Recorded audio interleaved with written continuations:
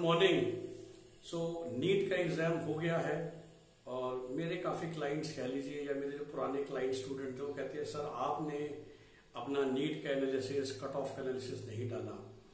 और, देखिए, मैं आपको सच बताता हूँ, क्योंकि ना, बच्चे आते हैं, बाहर लास्ट ईयर भी हुआ था कि फिजिक्स का पेपर बहुत मुश्किल था, लेकिन एक नहीं, दो नहीं, तीन बच्चों के तो पूरे सेवन ट्वेंटी आ गए थे। और मैं हमेशा समझाता हूँ कि वो जो 650 प्लस वाले बच्चे हैं ना, उनको थोड़े से मुश्किल या थोड़े से आसान से फ़र्क नहीं पड़ता। और फिर अगर आप ओवरऑल देखें तो इस बार वही चल रहा है कि बाकी सब ठीक था, ये बायोलॉजी में थोड़ी स्टेटमेंट्स बड़ी थी, या थोड़ा सा घुमाव पेपर था, जो कुछ बच्चे कह रहे हैं। लेकिन इस बार तो समय भी एक्स्ट्रा दिया गया था बीस मिनट का। तो सबसे पहले डाउट क्लियर कि क्या नीट दोबारा होगा या कैंसिल होगा? नहीं। और देखिए, मैं हमेशा भी कहता हूँ, उन पेरेंट्स के लिए जिन्होंने लास्ट ईयर इस प्रोसेस को नहीं देखा था नीट का एग्ज़ाम, जेई का एग्ज़ाम ये ना बहुत बड़े हैं। इन एग्ज़ाम को कंडक्ट दोबारा करवाने के लिए कम से कम दो से ढाई महीने की तो तैयारी लगती है, क्योंकि आपको इतने सारे सेंटर चाहिए, उन सेंटरों पे पेपर कराने हैं, ऑफलाइन एग्ज़ाम कराना है। और लास्ट ईयर का मैं वो किस्सा सुना, जब फिजिक्स का क्वेश्चन गलत साबित हो गया था हिंदी वाले सेक्शन में तो सुप्रीम कोर्ट की जजमेंट ये थी, और यू नो जब बड़ा काम होता है तो कई छोटी छोटी कुर्बानियाँ देनी पड़ती है। मतलब उन्होंने ये शब्द नहीं बोले थे, पर उनका कहने का मतलब ये था कि अगर पंद्रह लाख बच्चों के अंदर अगर पच्चीस हज़ार का भी नुकसान हो गया तो क्या करें? और ये कह के पल्ला छाट दिया। ऐसे वो महाराष्ट्र में दो बच्चों का के साथ हुआ था कि बेचारे एक ही क्लास में बैठे हुए थे। एक के पास सेट ए था answer key set C answer sheet set C की दी थी। एक के पास क्वेश्चन पेपर सेट सी था आंसर की सेट ए की। दोनों ने इमीडिएटली एक्स बोल दिया इमीडिएटली कर दिया। कुछ नहीं हुआ। वो लोग सुप्रीम कोर्ट गए अल्टीमेटली कुछ नहीं हुआ। जो ये जो गंगानगर वाला इशू सामने आ रहा है। देख, केरला का इशू तो बिल्कुल पर्सनल है तो उसमें तो खैर वैसे कोई कोर्ट कुछ नहीं करेगा। और तो उस पाँच वुमन कॉन्स्टेबल्स के खिलाफ ऑलरेडी एक्शन हो गया है। गंगानगर वाली बात है, जैसे मैंने कहा था कि 100 200 अगर 500 बच्चों को सफ़र भी करना पड़ गया तो सुप्रीम कोर्ट कुछ नहीं करने वाला। लास्ट ईयर भी पहले ये हुआ था कि कुछ बच्चों का दोबारा एग्ज़ाम होगा या इन दो बच्चों का। ये तो कह रहे थे मेरे एग्ज़ाम दोबारा ले लो, पर नहीं लिया गया कि भाई बद नहीं ले सकते हो। और जैसा मैंने कहा ना 140 करोड़ के देश में किसी के पास समय नहीं है इतनी गहराई में जाने का। तो वो बेचारों रह गए। तो ये सब मान के चलिए, जो आपने नंबर लगा लिए हैं, उतने ही आने वाले हैं। एग्ज़ाम दोबारा होना, वो सब होना नहीं होने वाला। इस बार नवंबर से बैच चालू करना ही करना है, जो लास्ट ईयर बहुत लेट हो गया था और जनवरी तक खिंच गया था। बट इस बार अगर अगस्त के फ़र्स्ट वीक तक में रिज़ल्ट आ जाता है और मैं मान के चल रहा हूँ ये मिड अगस्त तक काउंसलिंग स्टार्ट हो जाती है तो अक्टूबर नहीं तो मैक्सिमम मिड नवंबर तक काउंसलिंग खत्म होनी, हो जानी चाहिए और फिर क्लासेस स्टार्ट हो जानी चाहिए मिड नवंबर तक। तो ये है जो फ्लो चलेगा नीट का। कट ऑफ़ की बात है, जैसे हम सभी जानते हैं फॉर्म तो खैर साढ़े अठारह लाख लोगों ने भरा था। अपीयर को तकरीबन साढ़े सत्रह लाख हुए तो एक लाख बच्चे ऐसे थे। फॉर्म भरने के बाद अपीयर भी होने नहीं गए। तो उसकी वजह से जो क्वालिफाइड बच्चे थे, वो एक लाख ही बढ़ेंगे। क्योंकि आपको पता ही है कि आधे से थोड़े ज़्यादा भरते हैं because S C S T OBC physically handicap में फोर्टी परसेंटाइल पासिंग होता है। तो आप मान के चलिए, इस बार साढ़े नौ लाख के करीब बच्चे पास करेंगे। और मैं ये मान के चलता हूँ कि ना वो नॉर्मल कर बनता है। देखिए तो कट ऑफ़ में क्या है कि अगर एक लाख बच्चे एक्स्ट्रा आ गए हैं नीट में दो लाख बच्चे एक्स्ट्रा आए हैं अक्सर ऐसा होता है कि एक लाख बच्चे होंगे जो ऊपर होंगे और एक लाख बच्चे होंगे जो नीचे होंगे। तो जहाँ तक कैटेगरी कट ऑफ़ की बात है ना, अगर लास्ट ईयर हम 130 और 108 को पकड़े तो तीन चार नंबर से ज़्यादा फ़र्क नहीं पड़ेगा और तीन चार नंबर अपसाइड पे इसलिए होता है कि देखिए हर साल बच्चों की मेहनत बढ़ती जा रही है। इस बात पे ध्यान कीजिए। तो कट ऑफ़ क्यों बढ़ रही है? कि एक तरह से हर साल as we progress as a country serious बच्चे बढ़ते रहते हैं किसी भी एंट्रेंस टेस्ट में। तो शायद चार साल पहले किसी ने सोचा था कि नीट में कोई 720 में 720 भी लाएगा। लास्ट ईयर तीन बच्चे गए है ना? तो ये उसकी वजह से कट ऑफ़ ऊपर जा रही है कि एवरेज बच्चे की मेहनत है ना, वो बढ़ती जा रही है। और बहुत ज़्यादा फ़र्क नहीं पड़ेगा। आई थिंक अगर एक कट ऑफ़ थी जनरल कैटेगरी तो एक सौ पचास तक पकड़ लीजिए और कैटेगरी के लिए आप उसी हिसाब से एक सौ बीस बाईस पकड़ लीजिए। सबसे बड़ा जो मुझे इशू लगने वाला है, फ़िलहाल seat about ninety one thousand है। ऑफ़ कोर्स हर साल सीटें ऐड होती है। मान के चलते नाइन्टी फाइव थाउज़ेंड हो जाएगी। कुछ गवर्नमेंट बढ़ेंगी, कुछ प्राइवेट बढ़ेंगी। गवर्नमेंट तो कोई छोड़ता नहीं है। तो गवर्नमेंट की जो कट ऑफ्स है, वो मोटा मोटी उतनी ही रहती है। नीचे क्यों आएगी?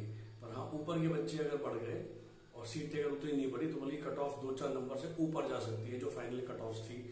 जबकि आपको मालूम ही है कि लास्ट ईयर गवर्नमेंट के ऑल इंडिया कोटा में जनरल कैटेगरी ओबीसी डब्ल्यू के लिए अराउंड 599 गिर गई थी। फिर एस की तो काफ़ी नीचे थी और एस की भी और नीचे थी। वो डेटा मैं आपको डिस्क्रिप्शन में दे दूँगा। अब जो दो अहम मुद्दे हैं जिसके लिए मैं ये शेयर कर रहा हूँ। एक, कि अगर वो एनएमसी वाला रूल आ गया आधी फ़ीस का तो उसमें फ़ायदा किसका, नुकसान किसका, मैं पहले भी खैर बता चुका देखिए, आधी फ़ीस का मतलब ये नहीं है कि लास्ट ईयर की तरह तीन सौ नंबर वाला प्राइवेट कॉलेज में जाएगा, उसकी फ़ीस आधी हो जाएगी। ये तो पहले से डिक्लेयर हो जाएगा कि प्राइवेट में सीट फ़ीस आधी हो गई। और जस्ट टू टेल यू कि अभी भी ना ऑलरेडी काफ़ी जगह पर है तो अगर आप साउथ में जाते हैं नॉर्थ में तो हरियाणा में कहीं पर भी नहीं है। पंजाब में जैसे प्राइवेट कॉलेज में फ़ीस ऑलरेडी साढ़े तीन लाख रुपए है तो पहले सब्सिडाइज है तो उससे कम क्या करेंगे? पर तेलंगाना साइड पे, आंध्रा साइड पे, तमिलनाडु साइड पे आप वेस्ट बंगाल में आप देखते हैं प्राइवेट कॉलेज में ऐसा होता है कैटेगरी ए सीट जिसकी फ़ीस पहले से गवर्नमेंट की होती है। तो ये जो एनएमसी का रूल है ना ये काफ़ी स्टेट प्राइवेट कॉलेज में तो ऑलरेडी लागू है। नॉर्थ में कहीं नहीं था, ना राजस्थान में था, ना, हरियाणा में था, ना उत्तरा, उत्तराखंड में भी था, कि उत्तराखंड के डोमिसाइल को 40 परसेंट ऑफ़ मिलता है, लेकिन हाँ सरकारी फ़ीस वहाँ आ सकती है यूपी में नहीं था, बिहार में नहीं था, उड़ीसा वगैरह में नहीं था तो इन जगह आ जाएगा, और डेफिनेटली डीम्ड में नहीं था। तो डीम्ड यूनिवर्सिटीज की वो जो एक आठ हज़ार पाँच सौ सीट्स है, उसमें ये आधा आ जाएगा। लेकिन उसमें क्या होगा? तो जैसे के में आधी सीटें अब फ्री के बराबर हो गई। वो जो पाँच सौ पिचानवे नंबर वाला है लेट से जिसको सीट नहीं मिली ऑल इंडिया कोटा में राइट अगर हम मान के चलते कि 599 वाज द कट ऑफ़ तो मैं एक जनरल कैटेगरी का बच्चा हूँ, दिल्ली का 597 ना मुझे दिल्ली में मिली, ना मुझे बाहर मिली। लोकल दिल्ली तो हमें पता है कि इंडिया कोटा से ऊपर कट ऑफ़ जाती है। कई स्टेट्स की नीचे जाती है। तो एग्ज़ाम्पल के समझिए, दिल्ली का बच्चा, हरियाणा का बच्चा, जैसे खुद के स्टेट की cut off all India quota से ऊपर रहती है। एमपी वगैरह की ऑल इंडिया कोटा से नीचे रहती है। अब मैं 598 का बच्चा हूँ तो मैं तो ले लूँगा ना केएमसी बनीवाल वाली वो सीट जो सरकारी के भाव मिल रही है। समझिए बात को? तो जो सबसे बड़ा फ़ायदा होगा वो मिल, होगा वो दिल्ली, हरियाणा, बिहार के बच्चों को, जिनकी खुद की कट ऑफ़ बहुत ऊपर थी। तो अगर last year all India cut off 599 थी, और मान लीजिए ये इस रूल की वजह से पंद्रह हज़ार सीटें सस्ती हो जाती हैं तो अब मान के चलिए 599 से नीचे जितने भी बच्चे खासकर चार स्टेट के थे, वही खा जाएँगे। और ऑफ़ कोर्स अगर आप मध्य प्रदेश के थे या महाराष्ट्र के थे तो आपको पहले अगर 570 या 60 पे मिला हुआ सरकारी, आप वही ले लेंगे। तो उस रेंज के दिल्ली, हरियाणा, बिहार के बच्चे, राजस्थान के बच्चे, वो सारी प्राइवेट सीटें खत्म कर देंगे। तो अगर आप 400 नंबर वाले हैं, साढ़े चार नंबर वाले हैं 500 नंबर वाले भी आपका कोई फ़ायदा नहीं, क्योंकि वो तो सारे, वो चार स्टेट में बहुत बच्चे हैं जो ये सारी सीटें ले लेंगे। एक और बड़ा इशू और आप सबको ध्यान देना चाहिए वो है कि खासकर जब हम तैयारी करते हैं इंडिया की एक सेगमेंट है एमबीबीएस अब्रॉड का। अब आप मान के चलिए कि तकरीबन लास्ट ईयर तीस हज़ार बच्चे बाहर पढ़ने गए थे। एक तो वो यूक्रेन का इशू है वो तो सबको पता है, पर एक और बड़ा इशू था जो मैं आपको याद दिलाता हूँ। तो एक एक गैजेट आया था लास्ट ईयर 18 नवंबर 2021 को, जब 2021 बैच का एडमिशन प्रोसेस खत्म हो चुका था कि भाई आज के बाद जो एमबीबीएस करने जाएगा उसके ऊपर ये रूल लागू है। अब ये रूल क्या है? ये रूल ये है कि आप जहाँ पर भी जा रहे हो, वहाँ पर आपको एक साल की इंटर्नशिप करनी पड़ेगी। वापस आके इंडिया में एक साल की इंटर्नशिप करने की। वो जो कोर्स है, वो साढ़े चार साल का मिनिमम होना चाहिए प्लस एक साल की इंटर्नशिप तो कई कंट्री ऐसे थी जो टोटल पाँच साल पढ़ाती थी, वो सब चेंज कर लिया। उज्बेकिस्तान, किर्गिस्तान, कजाकिस्तान ने अपने कोर्स को फाइव प्लस वन सिक्स कर दिया। चलो।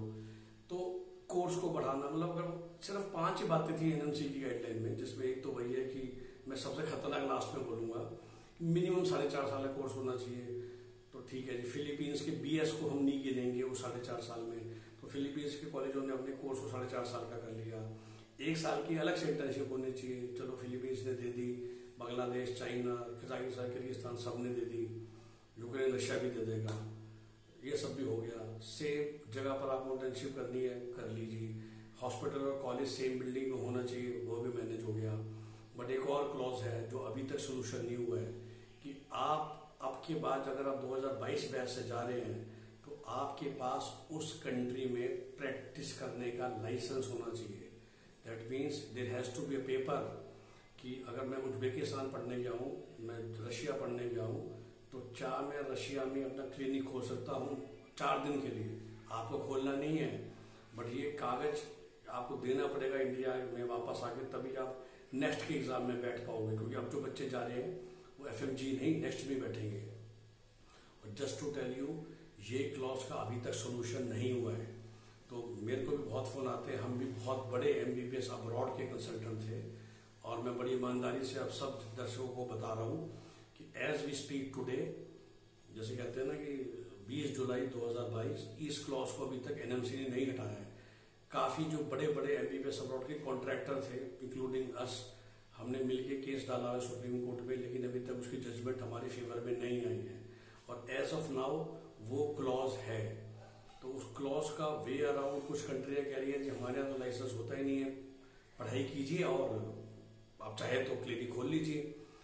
अब इस चीज़ को एनएमसी एक्सेप्ट करेगा कि नहीं करेगा? एनएमसी ने बोला, हमें तो पीस ऑफ़ पेपर चाहिए। तो because of that as of now बहुत, देखिए, जिसके बाद बिल्कुल ऑप्शन नहीं है, मैं कई लोगों से मिलता हूँ कि डॉक्टर ही बनना है। एक करोड़ का बजट नहीं है इंडिया के प्राइवेट कॉलेज की फ़ीस देने का बीस पच्चीस लाख का ही बजट था डॉक्टर बनाना है। तो चलो सर, अभी भेज देते हैं, जिस कंट्री में ये अलाउ हो रहा है, और फिर वापस आके हम देख लेंगे एनएमसी से केस कर लेंगे, ये कर लेंगे, वो कर लेंगे, और किसी तरीके से निकल जाएँगे। ठीक है भाई? लेकिन काफ़ी लोग ऐसे भी हैं जो लेट से बाहर जा रहे थे ऑलरेडी चालीस पैंतालीस लाख खर्च कर रहे थे, अच्छी कंट्रीज़ में जाके फिलीपींस में या चाइना में या नेपाल में। और अब वो सोच रहे हैं कि नहीं भैया, हम ज़ोर मार के ना भाई दो ही बच्चे आजकल इंडिया में ही घुसा देते हैं प्राइवेट में।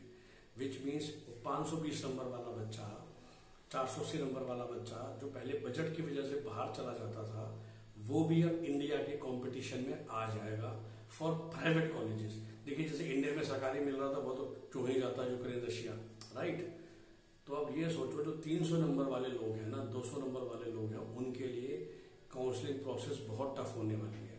क्योंकि ये तीस हज़ार में से अगर पाँच हज़ार बच्चे भी कंपटीशन में आ जाते हैं, मैं मान के चल रहा हूँ कि तीस हज़ार की मार्केट थी हर साल मतलब आँख बंद करके दस हज़ार बच्चे बाहर चले जाएँगे देखी जाएगी।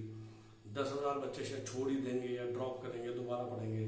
लेकिन अगर दस हज़ार बच्चे अगर पेरेंट्स ने डिसाइड कर लिया कि हम लोन लेके ये करके, वो करके भी बच्चे को पढ़ाएँगे तो ये सब फिर इंडिया के प्राइवेट कॉलेज के कंपटीशन में आपके साथ आ जाएँगे। तो क्या इस बार 200-250 नंबर वाले को सीट नहीं मिलेगी? देखिए, मिल सकती है। लेकिन जो लास्ट ईयर चलता था ना, उसमें हमेशा मुझसे फ़ोन करते हैं लोग, सर यूपी में इस कॉलेज की कट ऑफ़ क्या थी? सब मेरे पास डेटा है, पर मैं ये कहता हूँ कि अगर सब कुछ सेम रहता तो वो चीज़ भी लागू हो जाती। लेकिन पिछले साल के मुकाबले लास्ट ईयर में सिर्फ़ ये फ़र्क पड़ा था कि भाई, एक स्टेट ने फ़ीस नहीं बढ़ाई यूपी ने कहीं उन्हें बढ़ा दी तो यूपी चना से उठ गया। पर ये जो इस बार दो है ना, एक तो वो एमबीबीएस अब्रॉड का प्रॉब्लम और एक आने वाला ये रूल फ़ीस वाला। और फ़ीस वाला आए ना आए एनएमसी वाला तो फ़िलहाल है। और इन दोनों की वजह से मान के चलिए प्राइवेट सीट मिलना मुश्किल होने वाला है। आपको स्प्रेड करना पड़ेगा अपनी ऑप्शंस को। इंडिया में अगर जहाँ जहाँ स्टेट ओपन है बाहर के बच्चों को लेने के लिए, आपको शायद काफ़ी जगह अप्लाई करना पड़ेगा। सिर्फ़ ये सोच से काम नहीं चलेगा कि हम यूपी के रहने वाले हैं, हरियाणा के रहने वाले हैं तो खाली अपनी स्टेट में अप्लाई कर दें। इस बार बहुत मेहनत करनी पड़ेगी और शायद आपको प्रोफेशनल काउंसलर की ज़रूरत पड़ेगी ही पड़ेगी, जो लोग आज तक भी बिना काउंसलर को हायर किए अपना काम चला लेते थे। तो ये मेरी अपील है सबको, ये मेरे टिप्स हैं सबके लिए। रिज़ल्ट तो आ ही जाएगा टू वीक्स में। और लेकिन ये तो दोनों चीज़ें हैं तो एम एमबीबीएस अवार्ड तो हमें मालूम ही है, हम सुबह शाम उसमें डील करते हैं। और एनएमसी वाला रूल भी देखो, जब काउंसलिंग स्टार्ट हुई, उससे पहले आ जाएगा। तो दोनों ही खतरनाक है। मैंने कहा ना 200 से साढ़े चार सौ, पाँच सौ नंबर वालों के लिए। और अगर वो हो जाता है तो इंडिया में सीट मिलना दोबारा से मुश्किल हो जाएगा, जो नीट क्वालिफाई का रूल आने से पहले होता था। क्योंकि तब कंपटीशन होता था, कम नंबर लेकिन पैसे वाले बच्चे, फिर वो कंपटीशन हट गया तो लास्ट ईयर तक भी ऐसा हो रहा था कि आपके एक सौ अस्सी नंबर भी हैं तो इंडिया के किसी न किसी कोने में आपको एमबीबीएस मिल जाएगा, अगर आप कोई भी बजट खर्च करने को तैयार है। बट इस साल भी वो होगा गारंटी नहीं है। तो बहुत प्लानिंग के साथ चलना पड़ेगा, कौन से स्टेट में आप एलिजिबल हैं फॉर्म भरने बहुत ज़रूरी होते हैं काउंसलिंग के, कि लास्ट में अगर आपको एनआरआई कन्वर्ट सीट भी मिल रही है अराउंड फोर में तो उसके लिए ज़रूरी होता है कि आपने काउंसलिंग फॉर्म पहले से भर रखे हैं राइट तो ये सब चीज़ें देखते हुए आगे बढ़िए एक्शन लीजिए। हमारी सर्विसेज़ हमारी मदद चाहते हैं। डिस्क्रिप्शन में भी नंबर लिखा होता है हमेशा। Nine six four three three six two three two zero. Call कीजिए। मेरे साथ एक कॉल फिक्स कीजिए। The call will cost you five thousand rupees और meeting of thirty minutes forty minutes and then we decide कि आपको हमारा कौन सा पैकेज सूट करेगा, हमारा पैकेज थर्टी थाउज़ेंड से लेकर वन पॉइंट फाइव लैख तक जाते हैं डिपेंडिंग अपॉन हमें आपके लिए कितना काम करना है। मेरा बहुत सिंपल बनिया स्कूल है, जितना काम उतना दाम। तो अगर मुझे आपके लिए डेढ़ लाख का काम करना है तो तीस हज़ार लेकर मज़ा नहीं आता है, काम में उतना एनर्जी फोकस नहीं जाता है। और तीस हज़ार का काम है तो डेढ़ लाख लेने का हमें कोई शौक नहीं है, क्योंकि मतलब बेफजूल का पैसा भी कहता हूँ हमें नहीं बचता है। तो अगर आपका तीस हज़ार वाला ही काम है तो हम तीस ही लेके खुश हैं। और डेढ़ लाख वाला काम है तो हम ज़बरदस्ती कस्टमर बनाने के लिए तीस हज़ार में हाँ नहीं बोलते, ये हमारे कुछ असूल है। क्योंकि हम जिसका भी काम करना चाह करते हैं, बिल्कुल बेस्ट परफेक्टली अच्छे से करना चाहते हैं। सो धन्यवाद have a nice day bye